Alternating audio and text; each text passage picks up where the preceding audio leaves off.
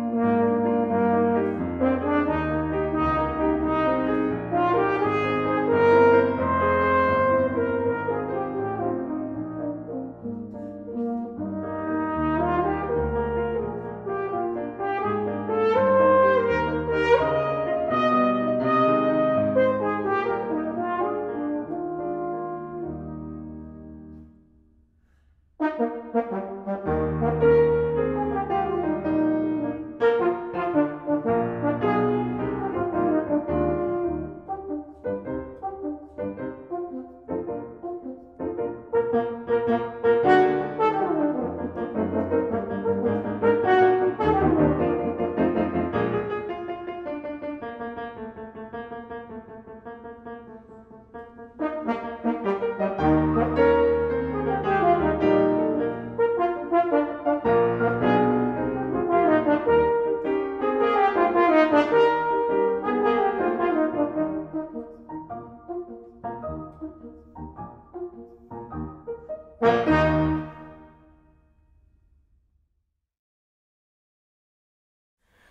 to Solos for the Horn Player, edited by Mason Jones.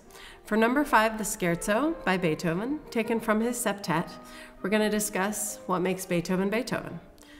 Number one, the era. It was very formal in the late classical era. There was also very rhythmic music being written. Number two, the style. So that means you play things kind of in dances or in marches. This one's a dance.